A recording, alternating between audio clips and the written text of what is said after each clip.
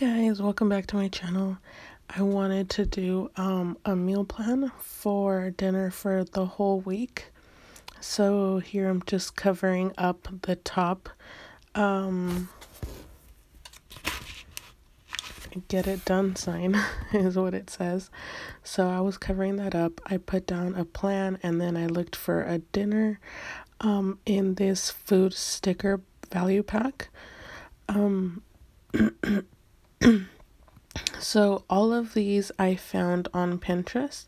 So I just go ahead and save them and try them out. I have not tried these cream cheese enchiladas that I will be trying for Monday.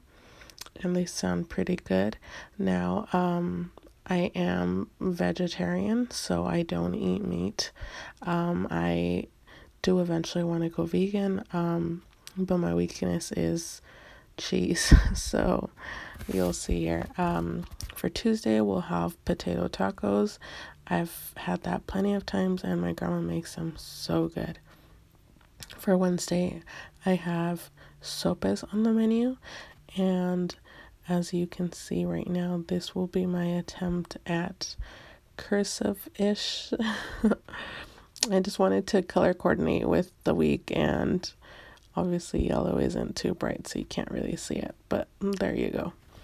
So for Thursday, uh, you will see that I go out of frame. I'm so sorry, but I will be making Mexican soup, which is fideo. I haven't had this in a very long time, and it was one of my childhood favorites. So, excuse me. Uh, for Friday, we will be having chile rellenos. Those are my absolute favorite, favorite dish. Um, uh, my Mexican dish, I should say, because I'm very, very into Italian.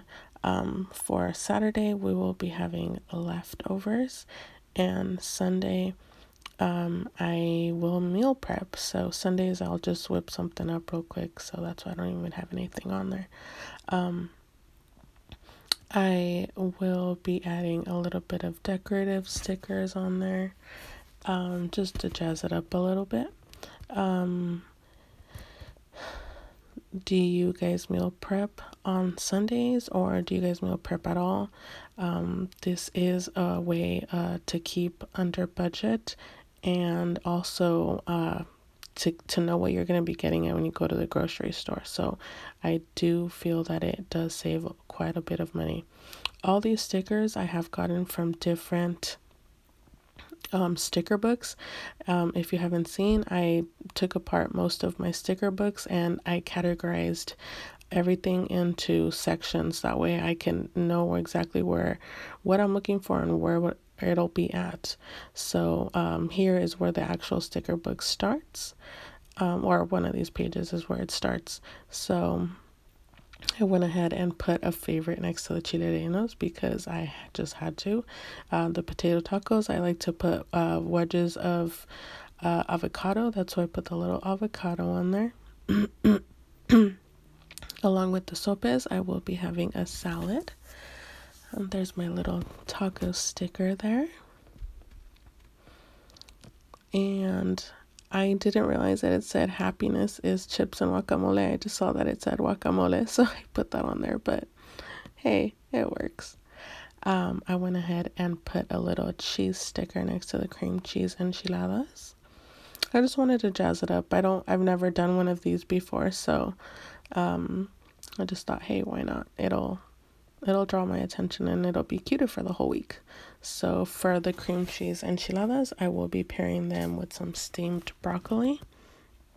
I don't necessarily um, plan on on veggies being for precise um, uh, dish or anything like that. It's just whatever we have on hand.